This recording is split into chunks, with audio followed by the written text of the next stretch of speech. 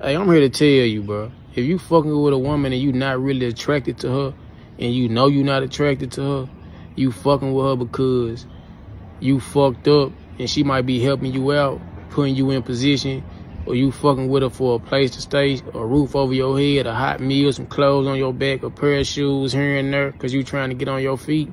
Stop calling yourself a player, a mac, a pimp. You not none of that. You my friend. you are a prostitute. you doing the same thing prostitutes do. Get a time and attention to men that they really don't want to deal with in exchange for money.